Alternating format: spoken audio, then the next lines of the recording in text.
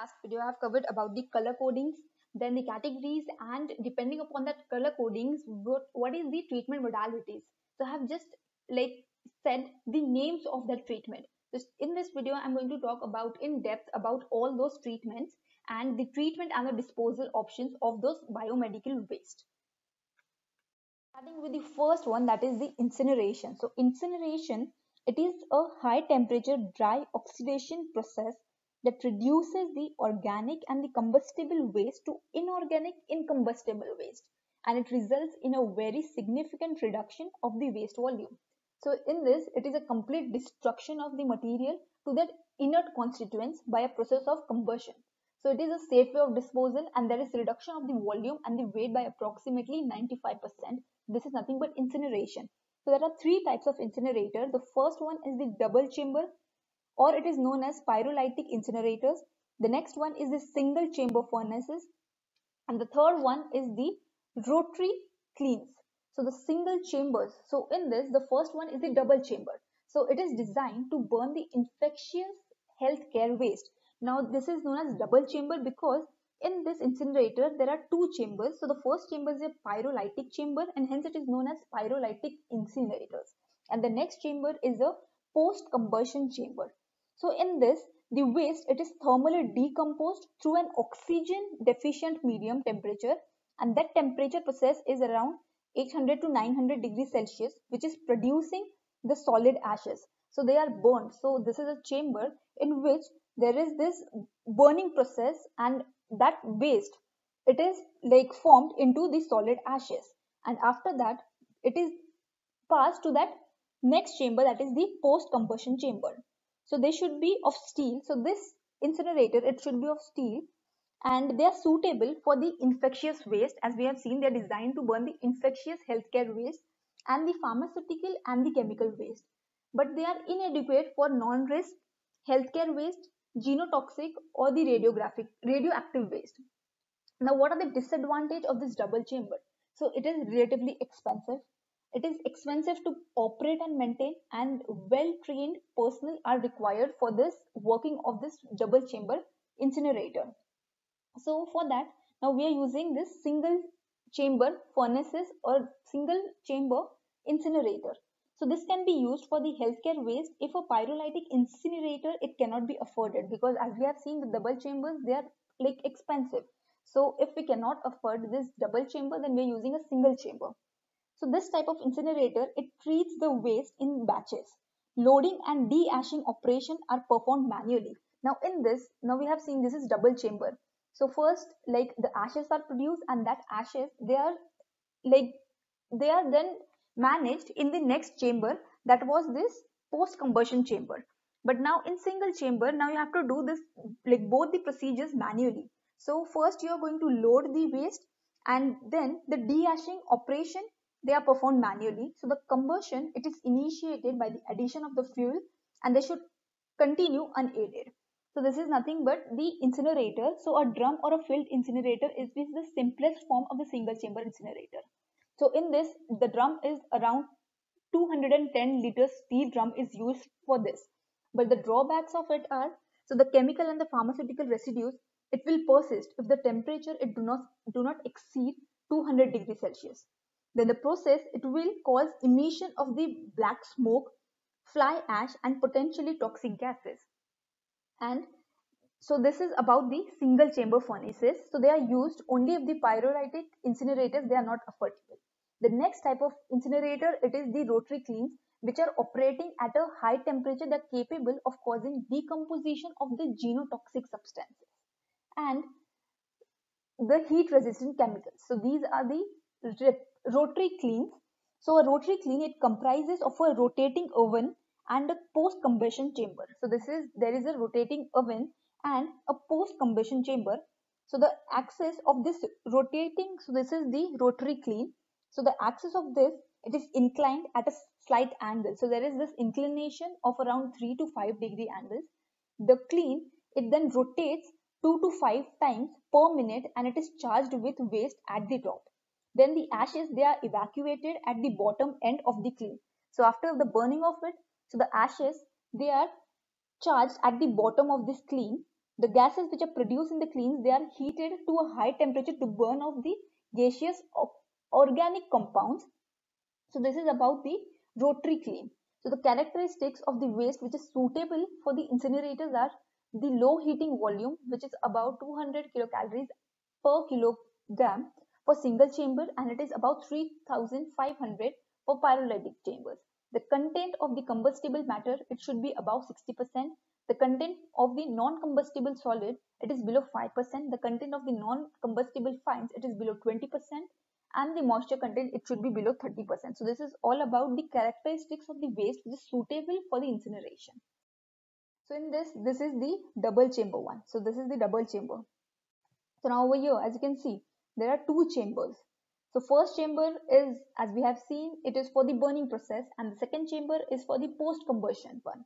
This is the double chamber that is a pyrolytic and this one it is the single chamber. So now you can see over here, it is a single chamber and this is a rotary kiln incinerator again in rotary kiln you have this two chambers type of but the first so over here there is this rotary instrument or the rotary oven which is present so this is the rotary oven which is present and after that it is passed to this secondary combustion chamber. So this is nothing but the rotary kiln.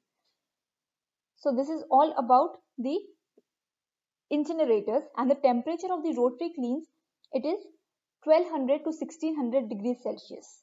And the capacity of this rotary kilns it is like in the range of 0.5 to 3 tons per hours but the disadvantage for this rotary kiln is well trained personnel they are required. The energy consumption it is high and the cost is high for this rotary clean. So this is all about the incinerators. Next is the chemical treatment. So the plastic rubber and the metallic items like IV sets blood bags gloves, catheter, syringe and the needle, it must be chemically disinfected before they are sent into the final disposal. So first you're going to disinfect all these things and then you're going to send it for the final disposal that is your landfill. So they can be done in the following step. So first what you're going to do is multilate the syringe and the needles with a needle destroyer. So these are all the sharps. So you're going to destroy that needle then cut all the other plastic and the rubber items with the help of scissors so that they cannot be reused. So because of that, you're cutting it and the needles they are destroyed. Then you're going to make 1% hy hypochlorite solution fresh every day by dissolving 10 grams of this powder in 1 liter of water. Then you're going to like make a solution of hypochlorite solution which is dissolved in water, 1 liter water. This is a chemical treatment. So we are going to like use chemicals. Then keep another smaller bucket with the perforation. Over here, this is the 1%. So we have like made this 1% hypochlorite solution. So this is after that you're going to make this hypochlorite solution. Then over here you're going to keep another small bucket with perforation. So this is with the perforation inside the main bucket. Then put all the items that are to be disinfected into this perforated bucket. So this perforated bucket it is smaller in size and this bucket it is kept in this bigger bucket. So all the like waste it is put in this perforated bucket and then it is dipped for 30 to 60 seconds in this bigger bucket. Then after 30 to 60 minutes, sorry, 30 to 60 minutes, then after 30 to 60 minutes, take out the disinfected materials or the waste and put them in a proper waste bag. So over here, so you're going to put that all into a proper waste bag. Then the sharp, it should be kept in a tough cardboard box. So if the sharps are present, so you're keeping it in a cardboard box, then only put in the plastic bags so as to avoid damage to the bags. Then change the solution every 12 hours. So there are various solutions that you can use. There are the sodium hypochlorite solution, ethylene oxide, glutaraldehyde, chlorine dioxide, then formaldehyde. So commonly used are the Savlon. We know that Savlon, then the bleaching powder, sodium hypochlorite solution and cresol. So these are the commonly used chemicals which are used for this chemical treatment. So over here, this is a like a bigger in which you're going to do the waste management through this chemical at a larger scale. This is for the larger scale and if you're doing it in your clinics then you require a small bucket like for a 1 liter water. Next is the wet thermal treatment. So it is based on the exposure of the shredded infectious waste to a high temperature and high pressure steam. So it is nothing but it works like the principle of it is as same as that of that of your autoclave. So autoclave also it works on this principle only that is this high temperature and high pressure steam but it is it is, it is inappropriate so this wet thermal treatment, it is inappropriate for the treatment of the anatomical waste and the animal waste. So will not effectively treat the chemical and the pharmaceutical waste. So there are this like type of wet thermal waste that is this screw feed technology. So screw feed technology is the basis of a non-burn dry thermal disinfection. So over here now you have seen, so this is a type of wet thermal treatment that is your autoclave. So in that you require that the waste to be shredded before the treatment to increase the disinfection efficiency. Then the, this is about the wet thermal. Now screw feed, it is a dry type of thermal treatment. So in which again the waste it is shredded and it is heated in a rotating auger so the waste, it is reduced by 80% in the volume and by 20 to 35% in weight. So it is suitable for treating the infectious waste and the shafts. It should not be used to process the pathological cytotoxic or the radioactive waste. So this is nothing but the thermal type of treatment. So wet one is your autoclaves and the dry one is known as screw feed technology. So in this, this is the screw feed technology. So this next over here, this is the screw feed technology and over here, this is your wet thermal treatment. The next is the microwave irradiation. So most microorganisms they're destroyed by the action of microwave of a frequency of about 2450 microhertz and a wavelength of 12.25 centimeters. So this is the like action or the frequency and the wavelength at which the microorganisms are destroyed. So the water contained within the waste it is rapidly heated by the microwave. So you're keeping that in the microwave. Now you know you have a microwave at your home. So you're heating that material. So you heat your food in the microwave. That is same like that. It is a microwave irradiation. So the waste, so the water which is contained within the waste, it is rapidly heated by the microwave and the infectious components that destroyed by the heat conduction.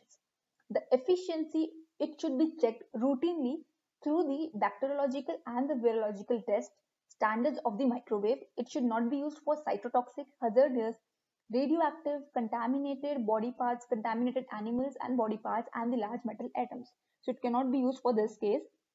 So now, although this process is becoming increasingly popular, relatively high cost coupled with potential operation and maintenance problems, it means that it is not yet recommended for use in the developing countries. Though it is used a lot, but because of the price and the maintenance problem, this microwave irradiation is not yet used in developing countries. The next type of treatment procedure is the encapsulation. So this procedure, it involves filling the containers which is made up of high density polythene or a metal drum with waste. So there's this drum which is present, which is made up of metal or polythene and you're going to fill that drum with the waste. After that, what you're going to do is these containers, they are filled up with a medium of immobilizing material. That is a hard material which are not going to move such as plastic foam, cement or clay. So first you have filled that drum with the waste and after that you're going to fill that with the cement or the plastic foam or clay. Then after this medium is dried, the containers they are sealed and they are disposed of in the landfill site. So this is nothing but encapsulation. So it is simple, low cost and it is a safe method but it is not recommended for non-sharp infectious waste. So this is another method of disposing the biomedical waste.